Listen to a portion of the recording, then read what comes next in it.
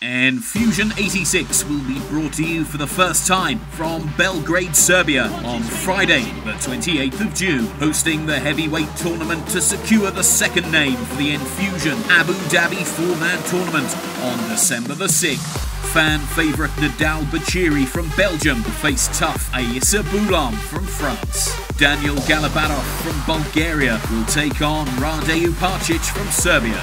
The two winners will battle it out at the end of the evening.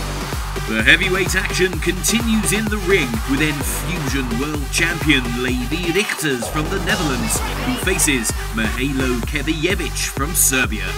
In a domestic fight, local Zoran Gronzdanic challenges Nikos Tzotzos from Greece. Don't miss this epic show. Tune in www.enfusionlive.com.